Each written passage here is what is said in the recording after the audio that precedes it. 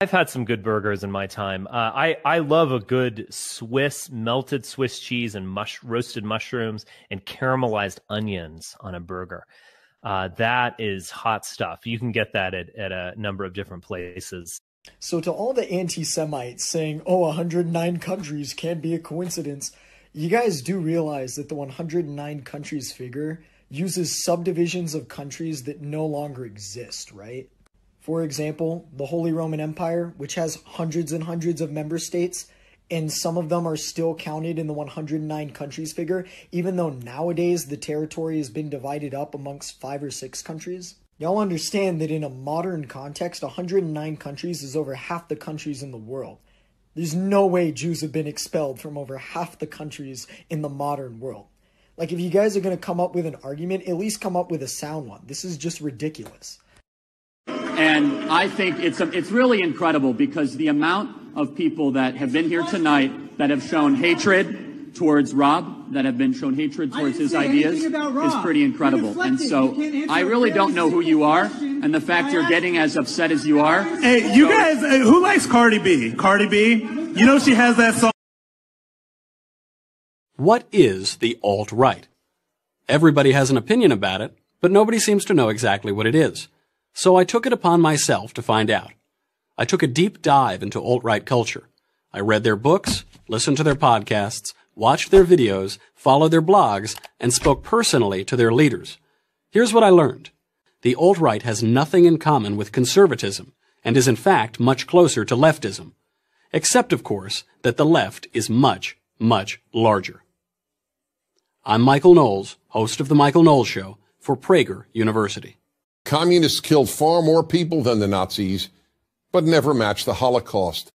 I reject this idea of dual loyalty. I have loyalty to ideas.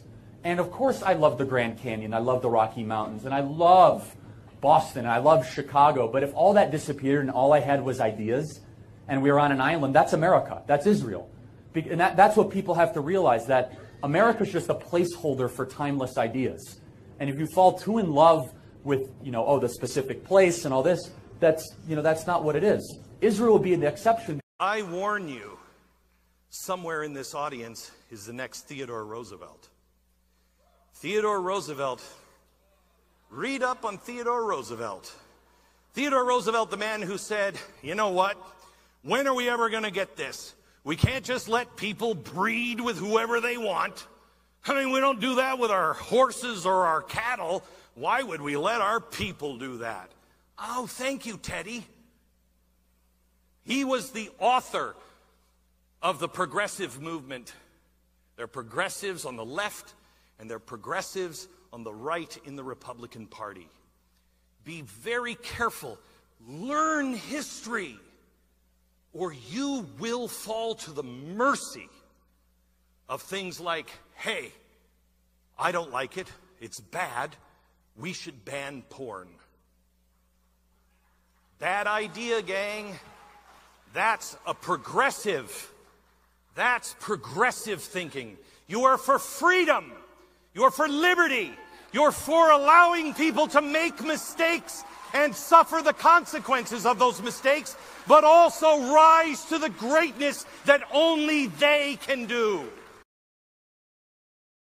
Why do we spend so much money on Israel? Over my decades of military service, as the Deputy Commander of the United States European Command, and now as a security advisor, I've often heard people make this complaint. The truth is, we don't spend enough. We should spend more, and for purely selfish reasons. Every dollar we spend on Israel is a dollar spent, in effect, in our own defense.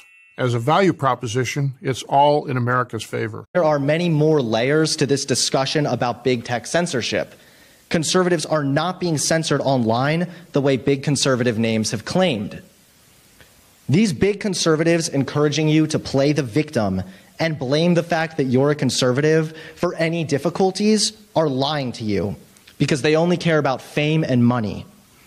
I'm against playing the victim, and far too often conservatives are quick to play victim anytime their social media accounts fluctuate. The topic of censorship is a controversial one. And I think there is certainly big tech bias against conservative voices on specific social media platforms. But this is a nuanced discussion that can't be summed up as easily as. Sure. Uh, so I have a question. So, from America First perspective, why do we give $3.8 billion to Israel, which is more aid than we've given to Africa, more aid than we've given to South America, and more aid than we've given to the Caribbean combined, which is home to a billion poor people, especially when they deliberately attacked the USS Liberty in the 1970s? That is illegally- incorrect. Do not peddle they- conspiracy theories in our event. That is not acceptable. Do not say that. Okay, Dean Rusk disagrees with you, and he was the Secretary of State at the time, but that's fine. And then the second part is also you have the Apollo incident in which they illegally stole right, weapons-grade uranium. Enough the CIA this- has reports on this, this. anti-Zionist, anti-Semitic I'm not rhetoric. anti-Israel. I'm just asking from America pers- perspe- perspective because it's not in our interest. They act Remember against the our short interest. question part? Sure. I mean, wh- how is it in our interest that we give this money to Israel? All right, so, so it's required that they have to buy American weaponry. Israel is the only democracy in the Middle East, the only place where all three monotheistic religions are allowed to peacefully practice. It's the only country in the Middle East where all three monotheistic religions are represented in their government. It's the only place in the Middle East that has any appreciation for LGBT rights whatsoever. It's the only country in the Middle East that doesn't throw homosexuals off the top of buildings when they find them. It is the only partner that we have in the fight against radical Islamic terrorism. And the, the subtext of your narrative could be extrapolated to say, well, why on earth would we have a partner like Israel? Guess what? The world's a better place because of Israel.